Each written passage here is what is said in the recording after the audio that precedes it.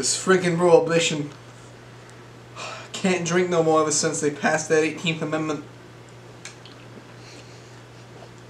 We do it anyways, of course, but the booze ain't as safe. You get a batch of bad moonshine and you lose your eyes. Maybe even lose your life. It's a shame. They got bootleggers running in the night, trying out on police cars.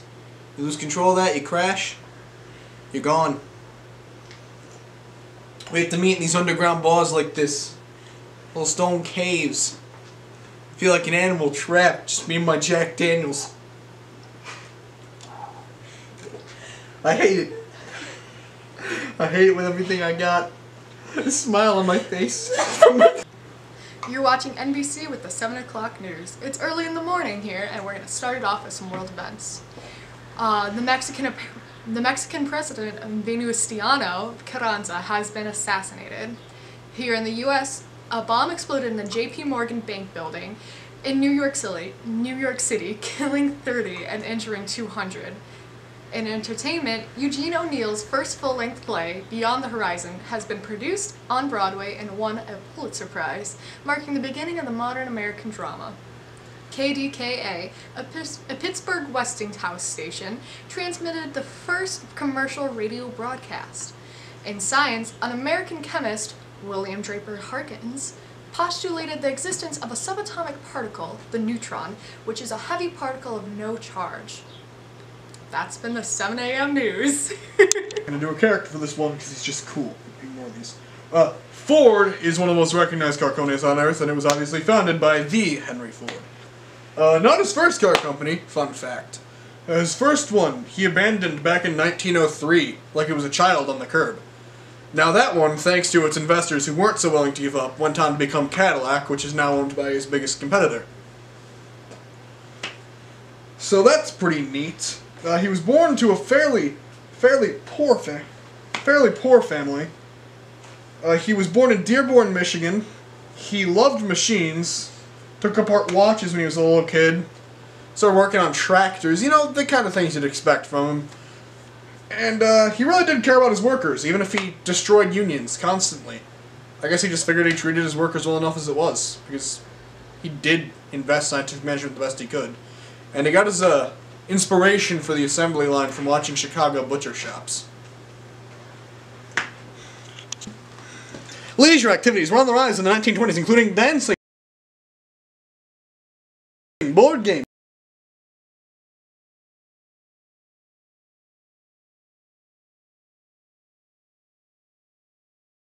baseball, ball, tennis,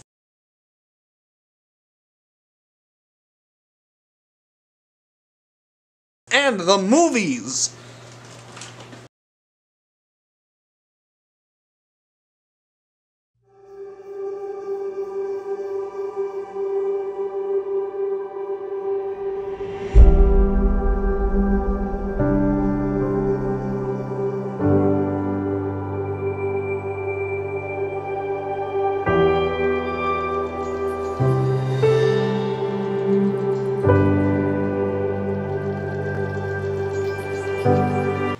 Lindbergh was a U.S. air mail pilot who won the Orti... Okay, I don't know how to pronounce that.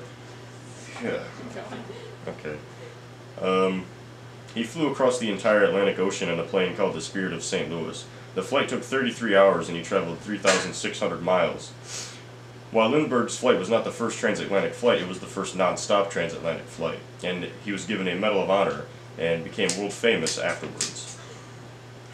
After he became a celebrity in 1932, Charles Lindbergh's one and a half year old son was kidnapped, and the kidnappers demanded a $50,000 ransom. Lindbergh paid the ransom, but unfortunately his son was dead and his body was found in the woods later. He died in 1974 and was buried in Hawaii. Okay, well, not too long ago, they passed this little thing called the 18th Amendment. And it, on its own, didn't do anything. It just gave permission to make another law, which was called the Volstead Act. This made it so that it was illegal who sell, manufacture, or transport alcohol. You can still possess and you can still drink though. That's how we found our loopholes. We started making these things called speakeasies. And private people would make this little thing called moonshine.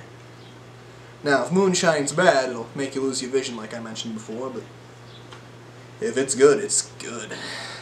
High proof, high alcohol content, knock your, sho- knock your shoes clean off and knock you right off your feet. Good stuff. Downside, it's got no flavor. Now that gets around by these people called bootleggers. Soup up their cars, try to outrun police officers through the night.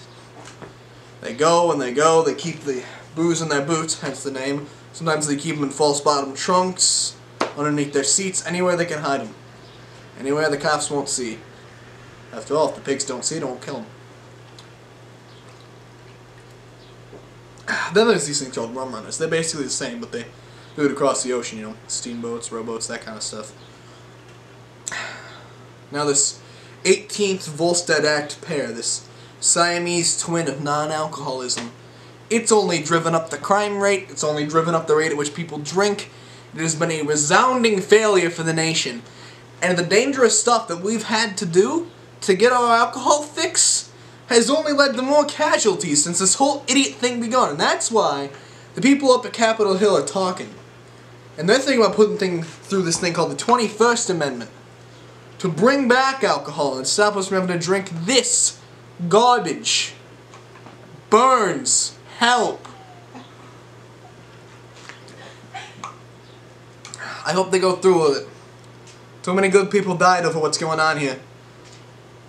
Some nonsense politics. Makes me sick.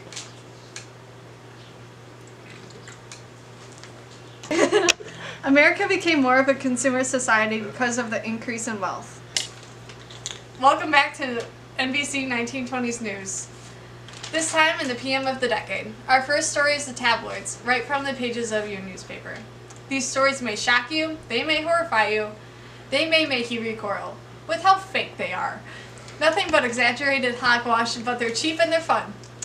The second story tonight is the radio. Three million people now keep these little boxes in their home to make us feel just a little bit closer. Next up, the cinema. The year is 1927 and the first talkie has been released. Until now, the action has instead been summed up by the narrator or orchestra. The fourth and final story tonight is the magazine.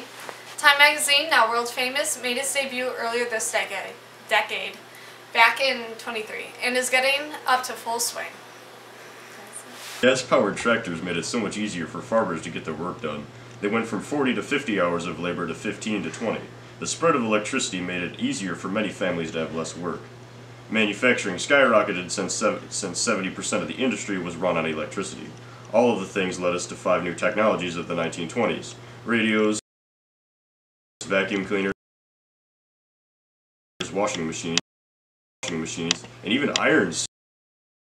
Get it now in the 1920s. Then there's Capone. I, I know I mentioned him before, but he was a real monster. He, he ran a bootlegging operation out of Chicago. The only one who ran the entire town. Folks down in Cicero, they thought he was a hero. He'd spread the wealth, tried to give back to the poor. We thought he was some kind of well-dressed Italian Robin Hood. We didn't know. Time came when there was a thing called the St. Valentine's Day Massacre. Too sober to even remember it.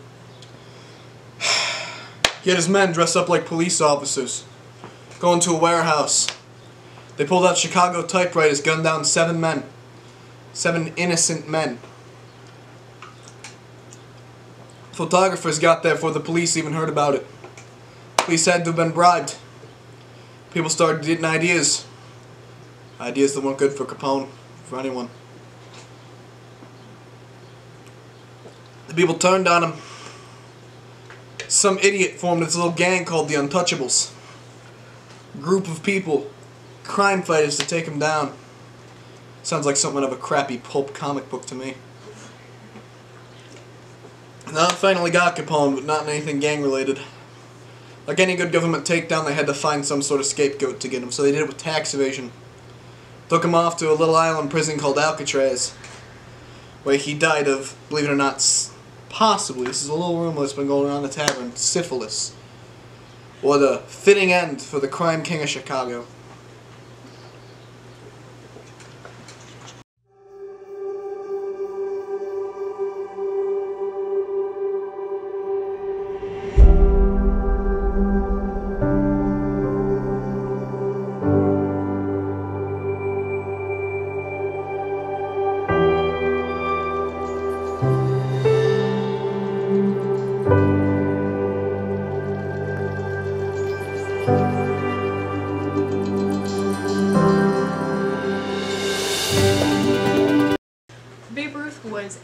Baseball star. He was elected into the Baseball Hall of Fame in 1963.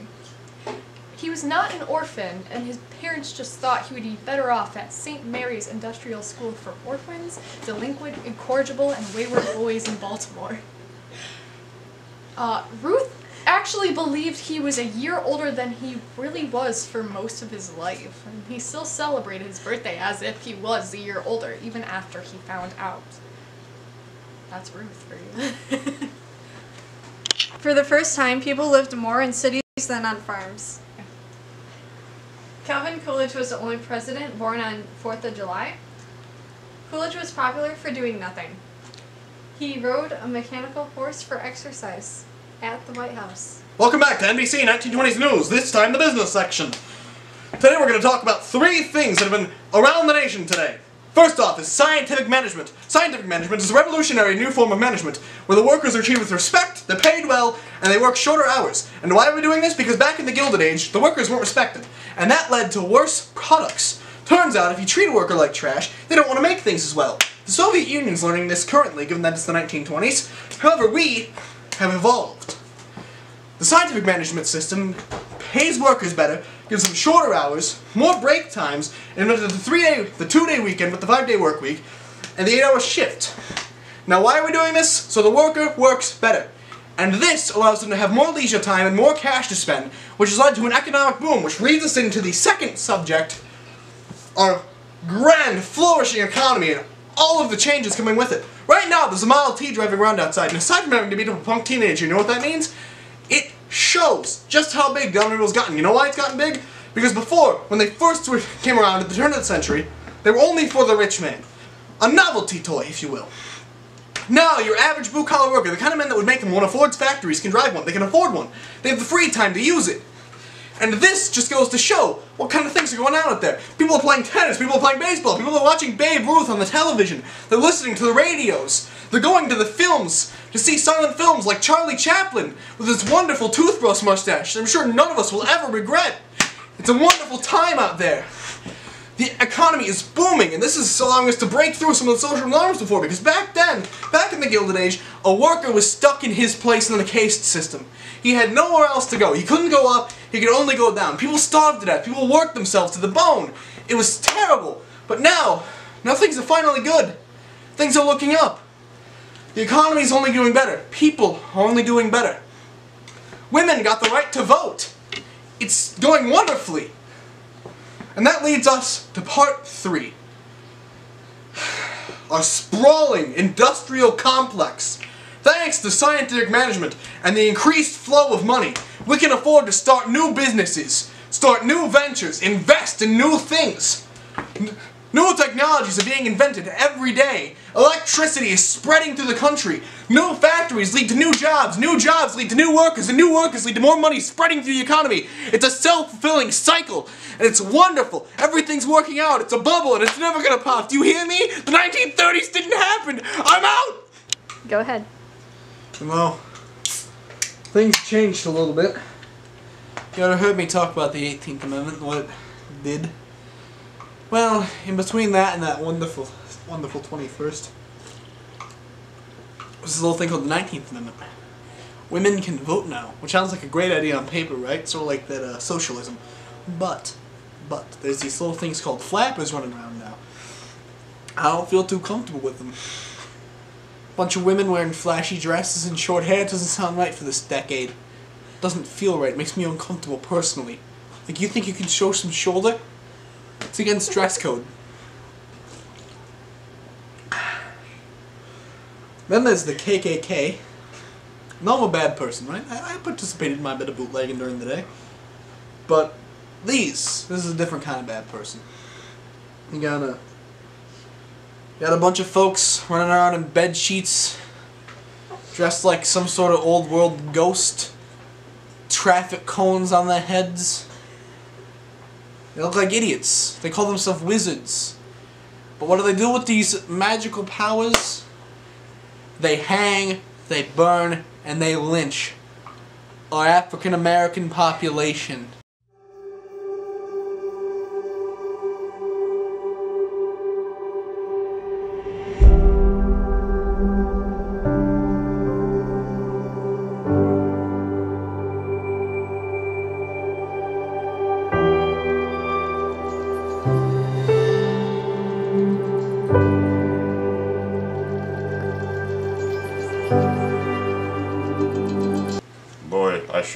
Participating in the democratic process. Ah! Cheers! we love voting. We love the 19th Amendment. It's good. Bunch of hatred-filled goons going into our capital trying to get laws changed. Think of what they're gonna do. Think of the kind of lobbying that'll accomplish. Think of all the black people that are burning and hanging. It's not a good thing. Alright? Sure, we, we give them the right to, like, exist. They can't vote yet, but they'll get that eventually. Like, technically they can, but we, we don't allow them. What was the last thing? Harlem Renaissance. Speaking of those wonderful African American fellows, there's the Harlem Renaissance, which is a wonderful new movement going on in the South. It's uh, spreading its way up here, actually. It's it's a bit more uplifting. You see, there's this wonderful little thing called jazz music spreading around. It's this swinging, bluesy little thing. It's it's like the blues, but happy. You got the saxophone, you got the drums, you got the big brass sections. It makes people move, and it's actually kind of opening people up to the whole African American thing which just shows the KKK to be evil, hate-filled people they are. Now, I wish that kind of change would happen a little faster, and I wish it would happen all over the world, but on the bright side, we're going to have a decent soundtrack to it.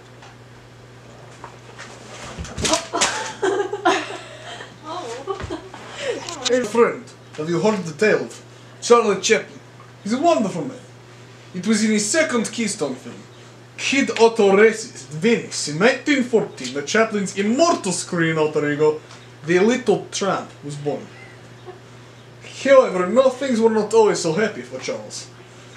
His grave was robbed long after his death, and they held it for ransom. They stole this man's body. It meant that much to them. Well, Chaplin was a special actor for the time. He never had any music training, but he composed his own music for his movies. Even if he did not know it up here, he knew it down here. God bless Charles Chaplin. And goodbye to him.